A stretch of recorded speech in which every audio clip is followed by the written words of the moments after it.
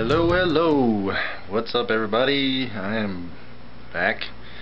This is day uh, 29, 30, 31, 32, 33. Day 33.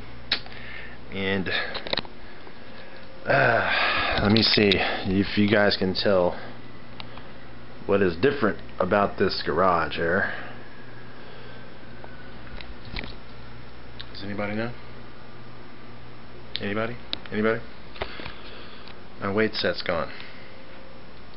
My bench, my plates, all my hexagons, they're gone. I finally sold them.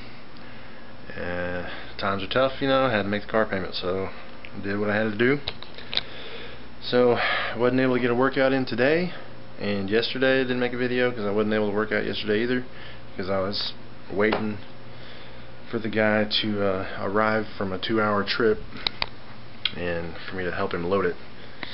Um, I didn't today because obviously I didn't have my weights but we had a lot of errands to run today and just didn't have time.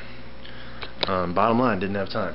So, but my diet's good, everything's good, I'm on schedule. Um, let me show you some awesome. Something awesome. Um, this is flax oat bran oat bran and whole wheat pita bread these are uh, that pita bread that's that's real thin.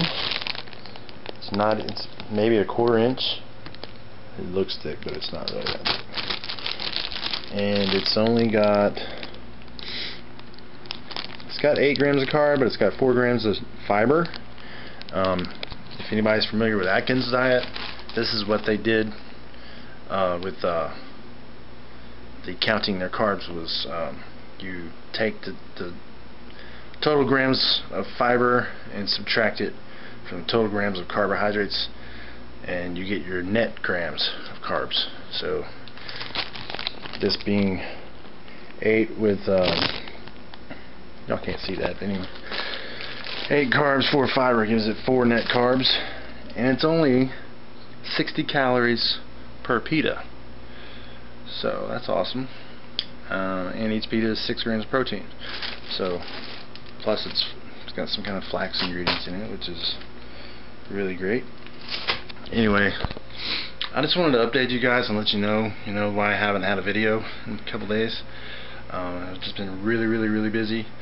So tomorrow um, I'm obviously going to be going to the gym because I can't work out here.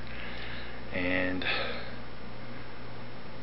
um, I guess that's pretty much it. I just wanted to update you guys and let you know I, I didn't uh, I haven't disappeared or died or anything. So I will see you in the morning uh, possibly on the way to the gym. Alright thanks guys thanks for your support uh, keep watching. I'm watching you guys. Let's motivate each other. Let's keep going. Um, let's help each other out. Oh, by All the right. way, see you later.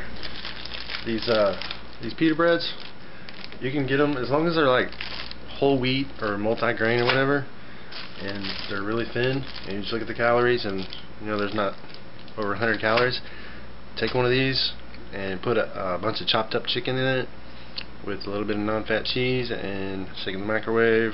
Make the cheese melt and put some fresh salsa on top probably I don't know how many calories but around 200 maybe not sure but I want to have I want to have exactly that on my heart my high carb days my days high carb days and uh, maybe for one you know breakfast meal or something but that's just an awesome way to use them and they really taste good. It tastes, I don't know if you've ever ate at Taco Bell and had with Choco, or is it Taco Bueno? Not sure. Um, you know, the Choco bread. That's what it tastes like to me. So, pretty good. Alright guys, see you later.